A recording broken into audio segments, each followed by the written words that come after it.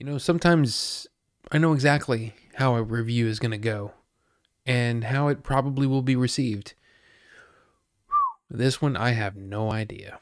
A brave Scottish general named Macbeth receives a prophecy from a trio of witches that one day he will become King of Scotland. Consumed by ambition and spurred to action by his wife, Macbeth descends into bloody madness. The movie stars Denzel Washington, Frances McDormand, Alex Hassell, Bertie Carvel, Corey Hawkins, Harry Melling, and Brendan Gleeson. So look, this is the this is the story of Macbeth. Basically, it's it's it's Shakespeare.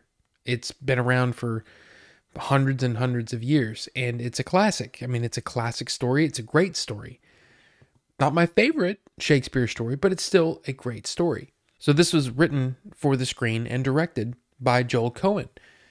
So what exactly did they all bring to the table here? Now, the movie is available to watch on Apple TV Plus right now in 4x3 ratio and in black and white, which looks like this. And I gotta say, I, I really didn't feel like it added anything to it. I mean, does this does this make it look any different? Does this look make my reviews look now, I've been critical uh, about that sort of uh, thing in the past. Um, I just, in a lot of movies, it just doesn't make much sense to do 4 3, at least in my opinion. But you know what? You, you got to give you got to give them credit. They went all the way. They said this is what we're going to do. We're going to be you know make stark black and white images, you know, and we're going to have uh, minimal set design. It's almost um, it's almost like this minimalist graphic, you know, sort of idea, you know, that you see in in many things, but I just I just didn't understand. Now, look, when you're doing Shakespeare, you're not changing anything, right? You you may be you may be taking away, you know, you you know, some of those plays were 4 hours long. You're not in most cases you're not going to do the whole play. So, you're usually taking out, but you're never adding anything in. You're not adding dialogue. You're not you know what I mean? You you don't you don't change Shakespeare. You know, Shakespeare is not. I mean, sure. I mean, yet some of it is open to interpretation and all that sort of thing. But for the most part, you're leaving things alone. So what does that leave? That leaves the acting. So that's why these things have been, you know, these plays have have lived for hundreds of years, right? They're they're, it's basically a, well, it's a stage for acting, right? So when you say we're going to take this play we're going to take this dialogue, we're going to let actors play these parts, and we're going to move them into a movie, right? We're going to move this whole thing that's a play, we're going to move it into a movie. You know, we're going to make a movie about it. That's your chance to go to go crazy, right? I don't understand the the idea that we're going to shoot this on a soundstage and we're going to have CG and, and actual green screens and all that sort of thing so we can add things later.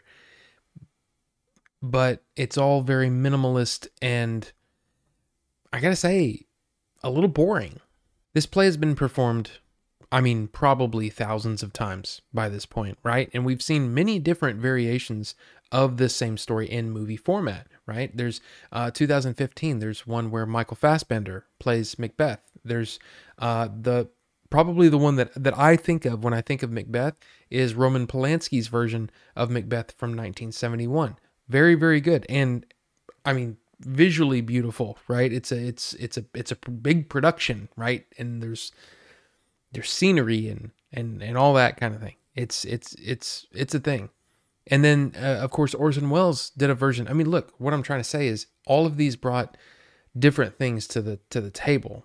And what I'm saying is when I'm watching this one, yeah, of course, I'm I'm taken in by the acting, but not much else. When I saw the trailer for the movie, I was kind of like, "Wow, this is an interesting, uh, I, I guess, an interesting take on on on a trailer right? To make it black and white and 4 3. I didn't realize the whole movie was going to be shot that way. I hadn't looked into the making of this or anything like that. I just watched the movie. And I, I was sitting there looking at it when the movie's playing, and I couldn't help but think of the classic uh, Saturday Night Live skit with Phil Hartman and Dana Carvey and Jan Hooks um, called Compulsion. I don't know if anybody's seen this, but but I mean, well, it's it's this. Yeah, it's hard not to not to think of that. If you've seen that, it I just don't understand. It feels like the obsession commercials, really, because that's what the compulsion ad was, right? Or the compulsion, you know, skit. It was it was a it was a play on the on the on the Calvin Klein obsession ads in the 80s. I, I just I guess what I'm saying is is that the look of the movie and all that didn't didn't really work for me. So I guess what it comes down to is why are you watching this movie? You know, if you if you're someone that's in school and you're watching it, I mean, yeah, you can you can you can watch the thing. Are you watching it because you're interested in this this this new story you've never heard of, Macbeth? I, I don't know. I I'd probably try to seek out the 1971 Roman Polanski film if you could. If you if you were going to watch Macbeth. That's just my opinion, but I really really appreciate the the look and feel of that movie.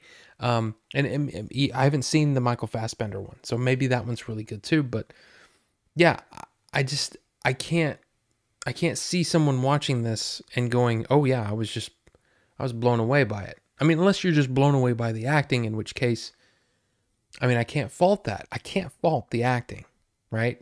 I just can't. So I guess if that's why you're watching it is because I want to see these amazing actors be amazing actors, then by all means, there's you're not going to be disappointed. They're amazing in those roles and they're fantastic. I just think it's I just think the movie is weird and not my thing. I can't give this a score, can I? Can I give this a score? For me personally, I feel like this is like a 2.5 right? It's like I've seen better versions of Macbeth. I, I just have. The, there's versions that I think are are are better produced and and different. So yeah, I, I guess uh, for those of you who who are just really in it for the acting, then I'd probably say what like a three point seven five. I mean, it's it's it's crazy. It's uh, these these these actors are amazing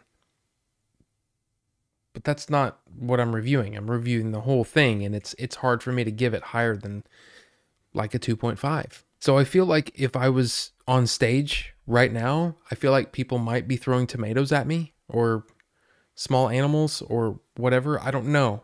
I, I'm kind of curious what you think. Did you see the tragedy of Macbeth and what do you think about it? Um, is, is there anything else on Apple TV Plus I should be watching? Because this is the first thing I've ever watched and I've had it for like over a year. Um, so yeah, but uh, but yeah, I'm really curious what people think about this. Um, maybe I'm just, I'm just, I don't know. Maybe I'm way off, but let me know down below and we'll talk about it. So thank you so much for watching, and we'll see you on the next one. Now the movie is a bit mm, is available. Wow. Now the now the movie is available right now for you to watch on Apple TV Plus in 4.3 and in black and white, which looks like this. It didn't work.